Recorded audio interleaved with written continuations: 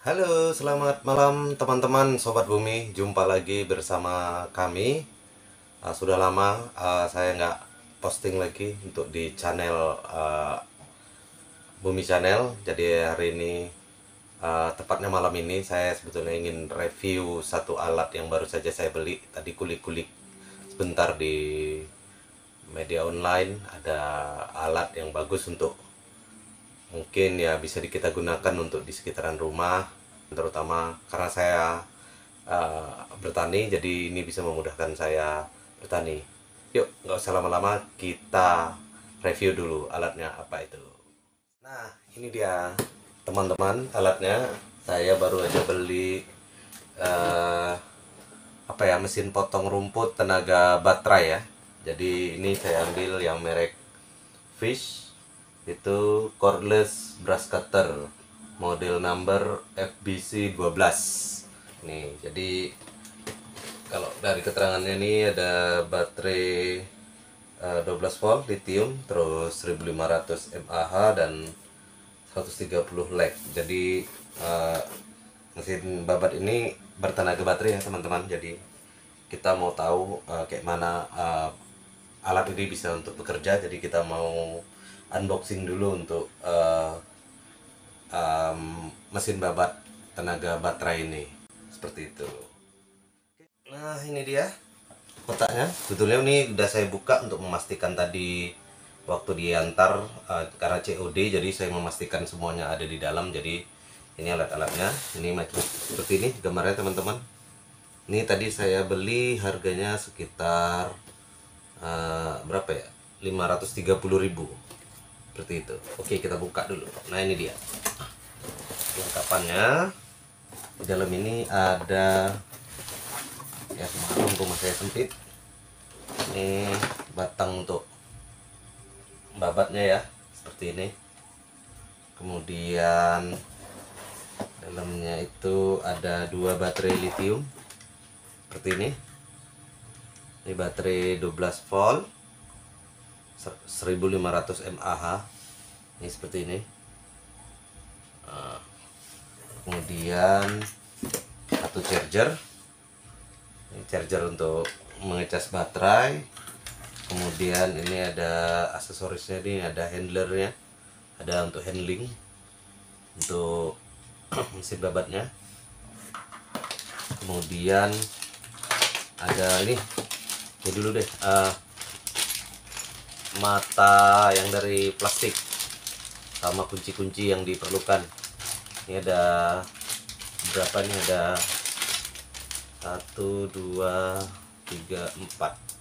Ada empat lima sampai yang di bawahan ada lima yang matanya kemudian ada kuncinya kunci L. Kemudian ada mata yang bajanya. Dua paket nih seperti ini. Nah, kemudian ada ini untuk safety-nya juga untuk kalau ke tem uh, apa ke dekat tembok. Kemudian ada buku manual dan buku garansi. Ini seperti itu. Dalam kotaknya seperti ini aja.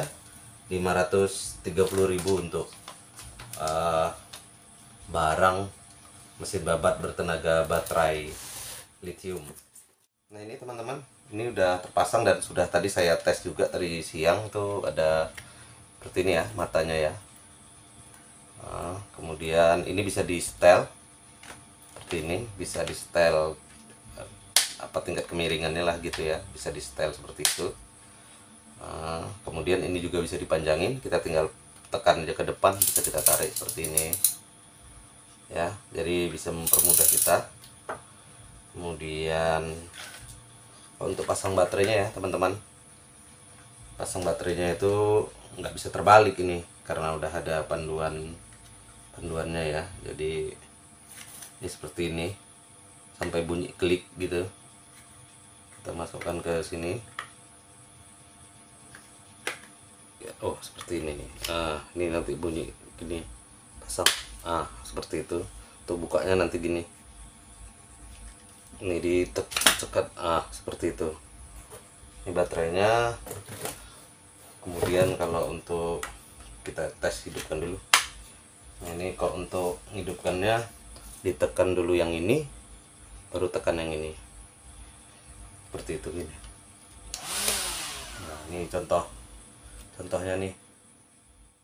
Teman-teman uh, besok kita akan coba untuk uh, menggunakan peralatan ini tadi yang saya beli. Uh, ya apa namanya uh, ada bacaannya sih tadi ketika di buku panduan tadi ini memang untuk digunakan untuk uh, di pekarangan lah seperti itu. Jadi untuk rumput-rumput yang ringan lah seperti itu. Oke teman-teman sekarang kita pasang dulu mesin babat tenaga baterainya dulu. Kita pasang uh, untuk bisa kita pergunakan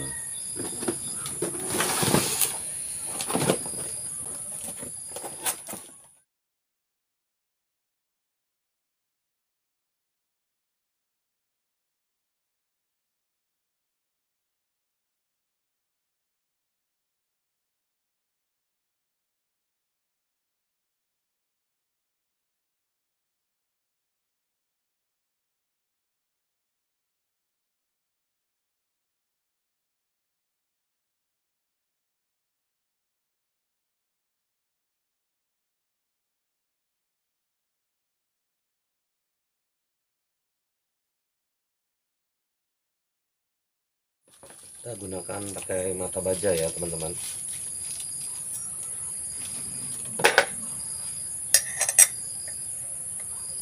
Kasih ring terus untuk mengetatkannya itu searah jarum jam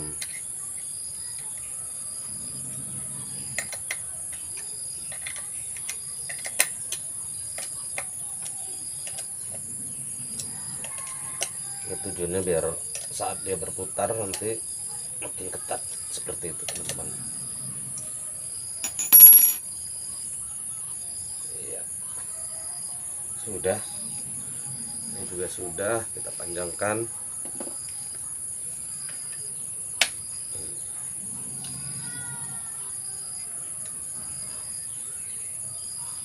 Kita sesuaikan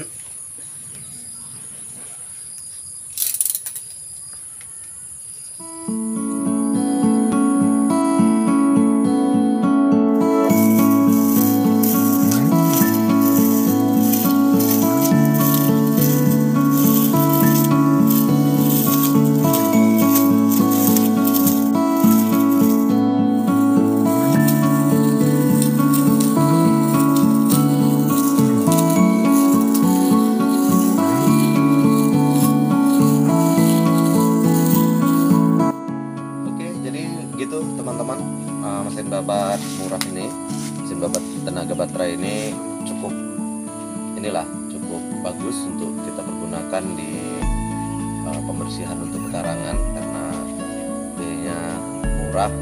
Terus juga kita nggak pakai juga kan kalau bersihkan pekarangan kan nggak terlalu lama-lama. Jadi kita perlu hanya satu, satu jam gitu. Jadi mesin babat tenaga baterai ini cocok sekali untuk membantu kita dalam memudahkan membersihkan pekarangan